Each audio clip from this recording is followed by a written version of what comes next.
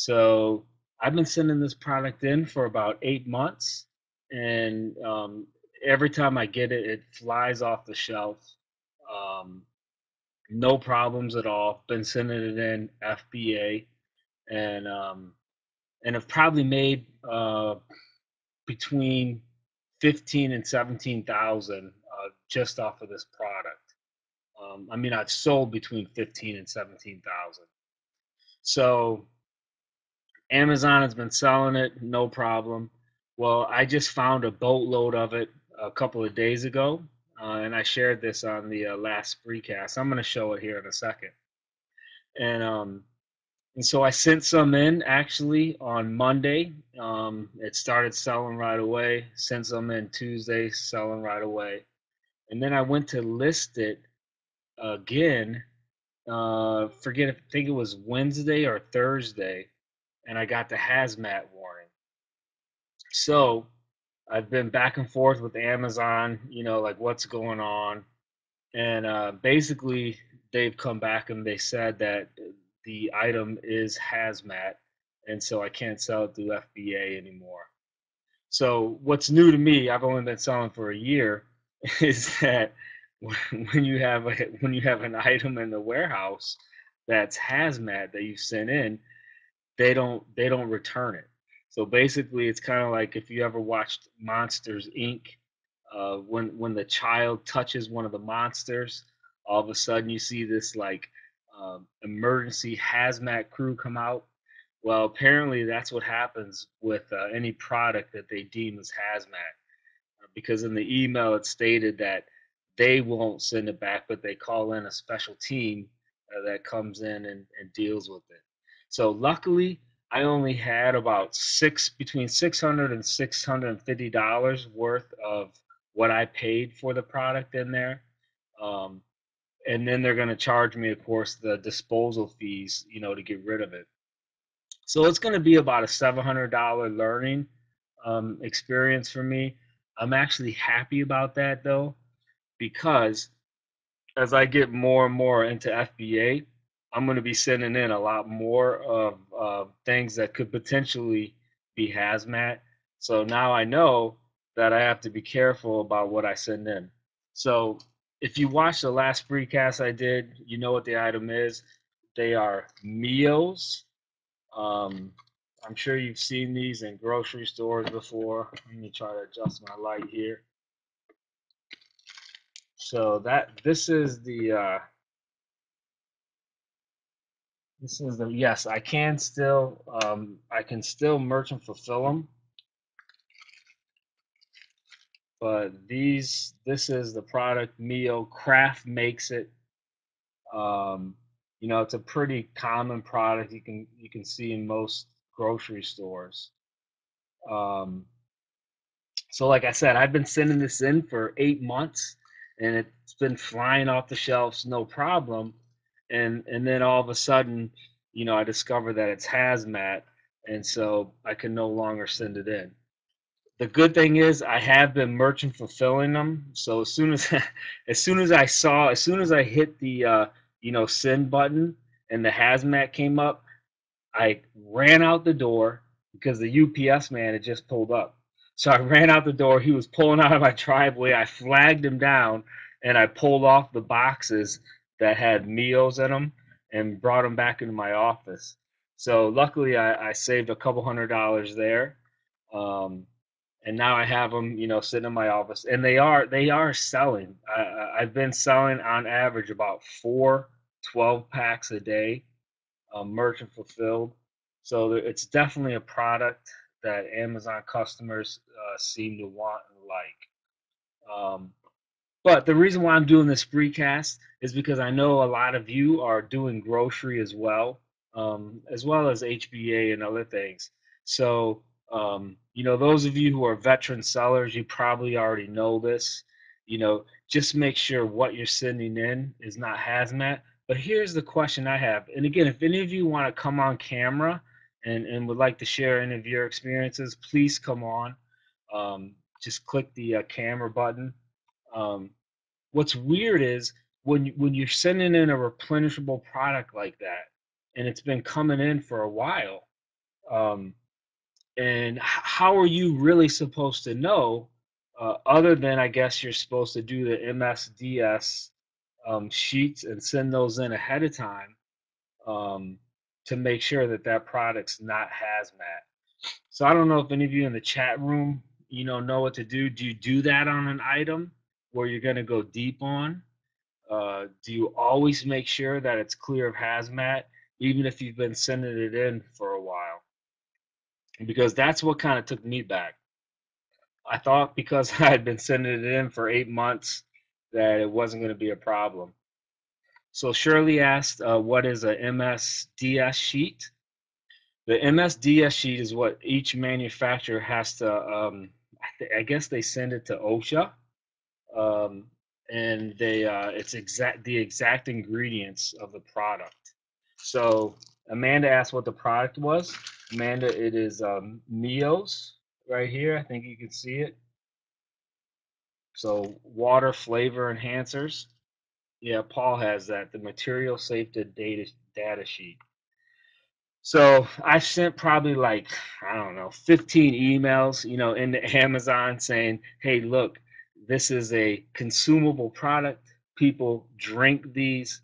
You know, how can they be hazmat?" Um, and every answer that I've gotten is sorry. You know, according to the standards, uh, they are hazmat. So here's a little tip because I, I, did a Google search because I knew I had to send in the MSDS uh, sheets on each product. And some of you probably know better sites on how to get those. Um, the site that I went to was msdsonline.com. So again, that, that site to get the MSDS sheets is msdsonline.com. And what that site allows you to do is you can download in PDF form five MSDS sheets. So if you have five products that you want MSDS sheets on, you can download five for free. So I needed 10. And what they do is like a lot of places, after you download five, then they want to charge you, I think it's like $150 a year. Um, so what I did is I just uh, switched computers. I have another computer that's on a um, on a different uh, internet. So I went to that one, I created a new account, and then I was able to download five more. So if you're able to get to multiple computers, if you go to msdsonline.com, you can get um, you know multiple MSDS sheets. Thank you, Rachel, for posting that there. So yeah, so it's definitely an interesting experience for me. Um, Eh, the the painful part is I have uh, about 600 to 650 dollars of meals that are in the warehouse already, and you know Amazon's telling me that they can't touch them, they can't send it back, and so they have to call in another company to come in and to dispose of them. So you know who knows what they do with them? They probably sell them to somebody else who then sells them, you know, on some other site. But uh, but I just I, I wanted to do this Spreecast just to make others aware that that can happen.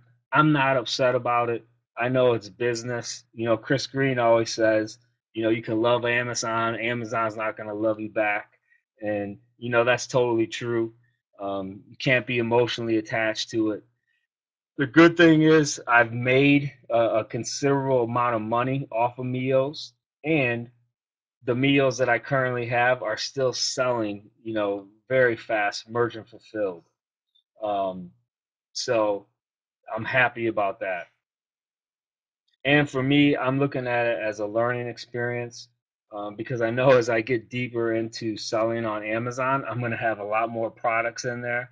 And it's just going to help me um, before I buy something, before I go deep on something, to think, do I need to find the MSDS sheet on this first?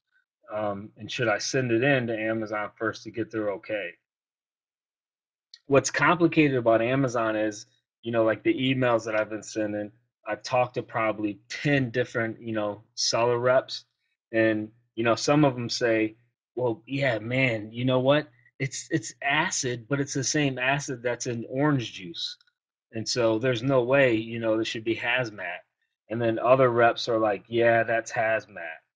Um, like any large organization, I guess that's what you run into. So, so that's it. If no one wants to come on air, I would love, you know, if anyone has any uh, hazmat stories um, or MSDS insight, uh, please turn your camera on and I'll bring you on. I'm not an extrovert. Uh, I'm I'm very much an introvert. I like to have other people talk and while I listen. And so, if there's anyone else that would like to come on, please join. Otherwise, uh, this is going to be a pretty short spreecast.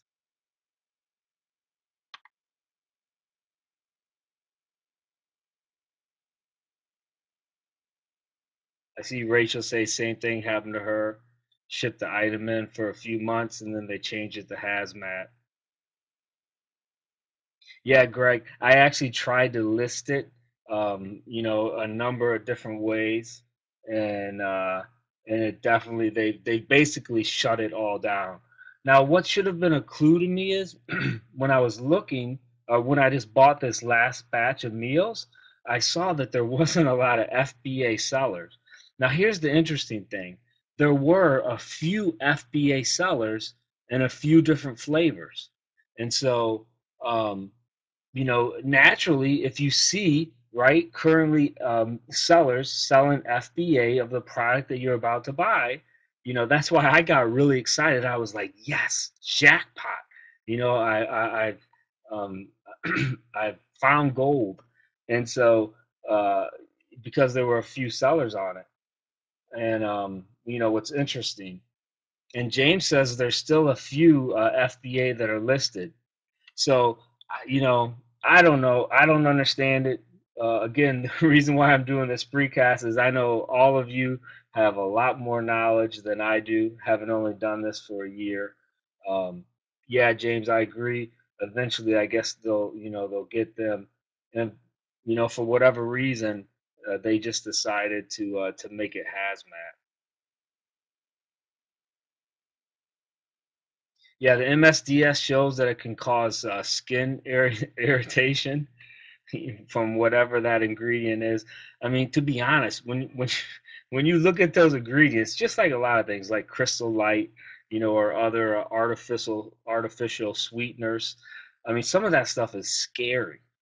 Um, you know, I've heard that most doctors recommend to stay away from Equal and uh, and Splenda because uh, if you look at you know what what it was made from, it actually uh, it comes from you know stuff that's not too good for you. So I imagine the meals are, are the same thing. I was thinking maybe Jeff Bezos, Bezos, you know, for some reason doesn't like uh, doesn't like yeah. a man Amanda says uh, check out. I can't even pronounce that aspartame. Yeah, I know. I've heard that that is very you know it's not good for you. So apparently um, either yeah you oh james you're too funny apparently whatever's a meal is uh is not good for you and it's not good for the amazon warehouse because uh they won't touch that stuff even if they have the rubber gloves on i've never seen an email I'll, I'll have to try to post the email they sent because it's it's funny it reminds me of the uh, hazmat you know, people in the movie Monsters Inc. You know, basically the uh, seller or the rep is saying, look, we can't even touch this stuff. We have to call in another organization to come in and get it to remove it from our warehouse. But the funny thing is, they've been selling, you know, uh, I don't know how many hundreds of thousands of units, you know, of these meals for the past year. And, you know, I don't think it's harmed anybody. But, uh, but suddenly now it is. So uh, another reason why I, I, did this Spreecast is because the last one I did, I was packing up the meals, you know, and I was talking about them. I got the meals at a discount grocery store. So, you know, like all items that we get, you make your money in the buy. I got these really cheap, and um, and I was really looking forward to making a good profit off of them. But uh, but I just want to put out there, if you buy meals, you have to merchant fulfill them as far as um, now is concerned. So they're still a really good money maker if you can get them at a good price. Uh, but just know you're going to have to put in the work to uh, merchant fulfill them. Which, if you do eBay, it's not that bad. For me, I used to do eBay, so having a merchant fulfill these is just it just seems to me like it's a lot more work. The profit margin is still good, but uh, to me, it just it seems so much easier to be able to send it into FBA. So hopefully, my lesson of losing seven hundred dollars um, dealing with this issue, uh, other folks might be able to watch this and, and see it and, and maybe think twice if you're buying a product and you see that there's no FBA sellers, but there's a number of merchant fulfilled sellers, you might want to stop and think, wait a second, can I send these into FBA? I know that there's been other products that I bought. It's it's been the same. Um, even even if say you sent these products in the past with no no problem, but now you you find another you know uh, another load of them, and but then you notice there's not a lot of FBA sellers. That might be uh, red flags that you can no longer send them in.